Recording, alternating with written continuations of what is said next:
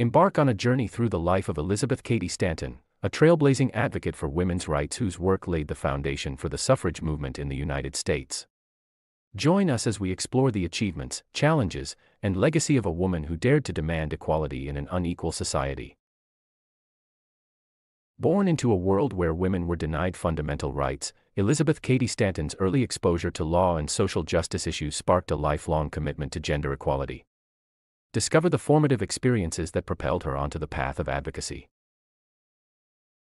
In 1848, Stanton played a pivotal role in organizing the Seneca Falls Convention, a gathering that would mark the beginning of the organized women's rights movement in America. Witness the drafting of the Declaration of Sentiments, a groundbreaking document that demanded equality for women.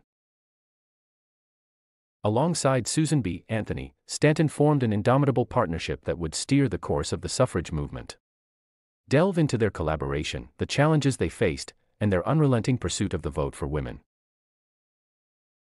Stanton was not only a brilliant orator but also a prolific writer, using her pen as a powerful tool for change. Explore her contributions to the movement through speeches, writings, and her vision for a society that valued women and men equally.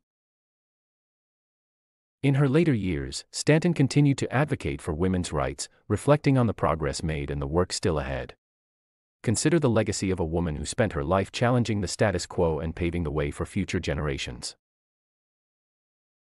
As we conclude our exploration of Elizabeth Cady Stanton's life, reflect on her enduring legacy, the path she forged for women's rights, and the continued relevance of her work in today's fight for gender equality.